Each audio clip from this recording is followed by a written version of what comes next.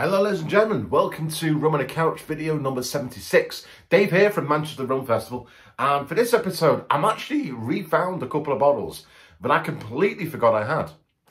Uh, obviously I moved house several months ago as some of you may know and bottles were in boxes. I've opened the box and I'm thinking how the hell have I forgotten that I had these two little bottles uh, that were a, a, reminder of two of the of the best of the range in my mind at the time, especially uh, that I tried at Whiskey Show in 2019 in London. And that is the National Rums of Jamaica, more specifically the Cambridge, as well as the Vale Royal.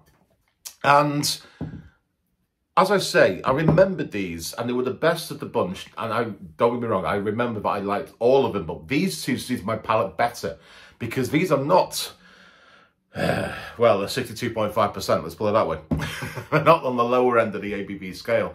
Um, but obviously, I love my Jamaican styles of rum. I love the funkiness, I love the brashness, but I also love the sort of um, nuances that Jamaican rum can offer. As I say, I've been very lucky to have been to Jamaica uh, and experienced the likes of Appleton Estates, Hampden Estates. Uh, I didn't get the opportunity to see Worthy Park, but there are actually a lot of the other distilleries that have made their mark in the Jamaican rum world. And what these are, are actually some reproductions of some classic styles of Jamaican rum. So for example, I'm going to crack open the, the first one, which is the Cambridge Jamaica Pure Single Rum 2005. Now on the back of the label, it offers a bit more context to why it has the uh, letters S, T, C and E and the reason why. This rum is a production of the STC Heart E, mark of the Cambridge Estate Distillery, located in the Trelawny Parish and closed in 1947. Distilled at Long Pond Distillery in 2005. The continental flavour style is one of the four classifications used in Jamaica, which identifies rums with 700 over 1600 um, of esters at a time of distillation. A world premiere. Now, I can't remember what time it is, but it's still morning, so it's going to be an intriguing approach, but it's always a good time to drink rum. Ooh. So, continental flavoured, distilled in a double retort pot still at Long Pond Trelawny. This is actually only 11 barrels, 3,648 bottles. Or 41 bottles. Now, have my Glencairn glass. hefty measure. I like it. Don't want to get the drips on the label. right, here we go. It's a beautiful colour, very nice mahogany style to it. And the first thing I pick up, raisin. Not the sort of expected, uh, expectation of sort of dried raisins because it's been in the barrel for a while and it's all about the wood. No, I'm getting that kind of fragrance raisin, that sort of um, sultana style, bit more, I was actually going to say glazed feel as well. Definitely some oak in there, definitely some sort of uh, seasoned oak, bit more the orange profile. Get a little bit of, um, pardon me, I actually get a little bit of marshmallow. It's beautifully lighter, sort of a, it's like little hits of sort of freshness just bouncing away. Yet you know it's had that interaction with the barrel. It's got a nice little heat to it as well. Not saying spice, it just seems to lift off the barrel staves themselves. Okay, 62.5%. Welcome to my Sunday morning.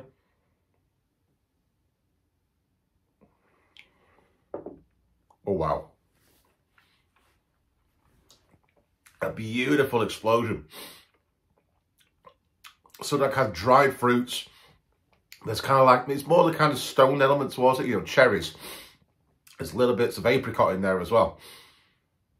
It leads directly onto like a wave of raisin to, I want to get like that sultana element comes through again from the nose. It's kind of like a banana, dried bananas peels, you know, when you get the beautiful slices going on. Something else there as well, actually.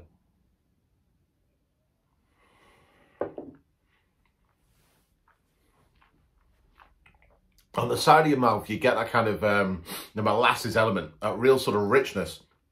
It wasn't there straight away. It sort of developed onto it. It's not too thick. You sort of have that sort of burnt element, but in a nice way. Because in my mind, if you have a bit of a burnt molasses profile, it overpowers, it sort of ruins the experience. But this one is there to kind of complement it. It's a very Jamaican style of rum. It's a beautiful profile. I can see why I, I remember having this one out the all the other ranges. Uh, obviously, Barring the Vale, uh, which we'll have in a minute. Because I think it was a little bit more, that kind of scented element. There's a little bit more going on. Um, I forget perhaps why I didn't pick the other two. It may also be down to price because I'm not the cheapest of bottles. Um, but it might also be down to the uh, fact that they might be a bit too intense. And this is a great way of getting on board with what a Jamaican rum, especially the old school uh, Jamaican rums that are no longer as readily available, uh, is all about. It's a very long, lingering profile as well. It's great for a Sunday morning.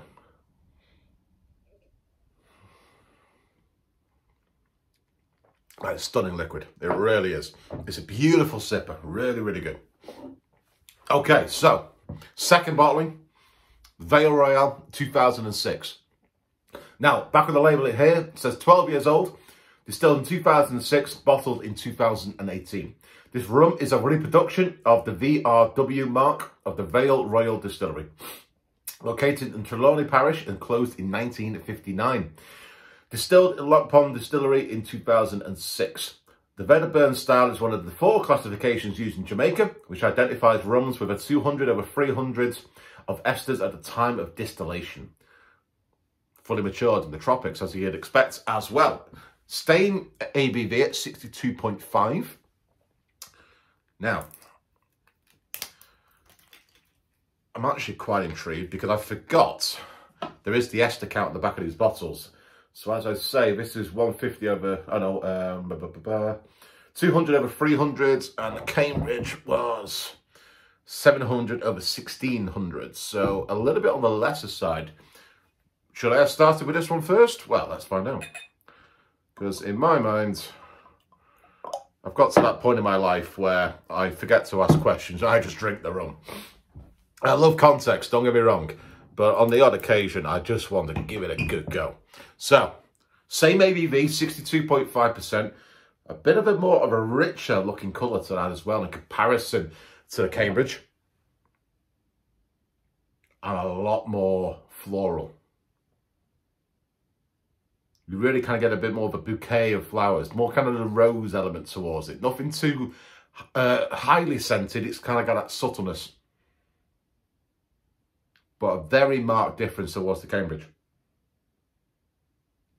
There's also a little bit of more orange water. Lacks the kind of marshmallow picked up with the Cambridge. Lacks a sort of, um, that raisins, that sort of prune element. But it replaces it with more kind of a thinner profile. It's definitely some orange, but I also get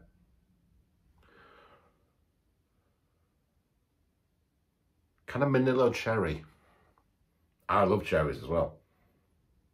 It's kind of that soft, uh, it's not, well, it's a cherry itself, but you know you get the syrup and you get the beautiful aroma of the cherry from that syrup. It's that. That's a good thing for me. All right, let's give it a taste.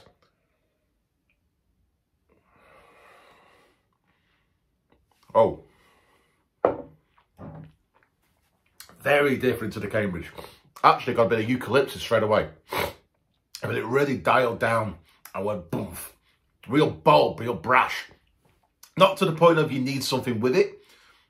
I think, God forbid, if you wanted to, to have this with a mixer, no, I wouldn't do it in my mind. But what I'm saying is it has that sort of uh, boldness, that sort of, um, it's like putting it into capital letters without having the intensity that people, I think, would expect for something quite a high ABV and sort of uh, well, that Jamaican funk, but I think a lot of people have that expectation with Jamaican rum.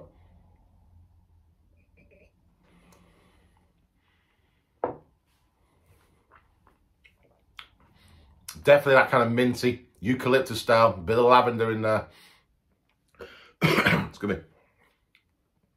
It's a lot more longevity. It's not as lingering as the Cambridge. it's definitely still there. It's talking 10, 15 into 20 seconds. And it's sort of, it's kind of offering a slight tingle. It's like it's opening some more your senses up for it. Pardon me.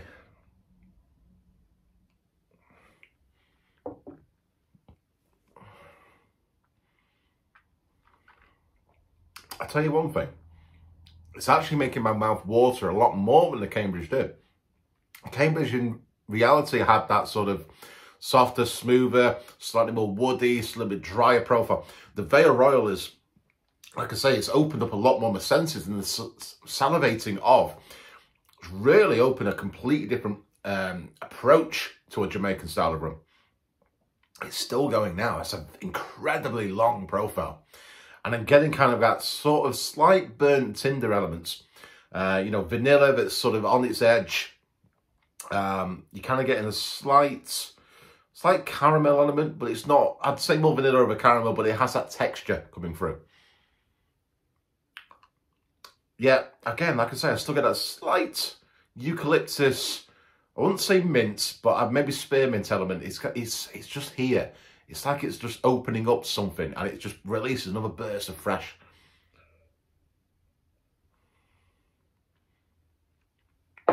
Absolutely stunning. And I am so annoyed it's taken me about two years to actually open these bottles. I can't believe I didn't do it straight away. I remember buying them.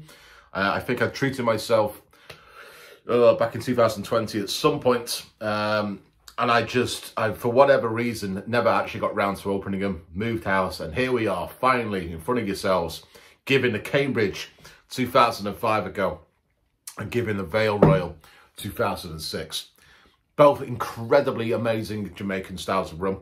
Uh, it's a shame that it's it's not really as, as seen as much, but if you do able to find the Vale Royal, the Cambridge, or anything and these beautiful boxes from the National Rums of Jamaica, don't dismiss them.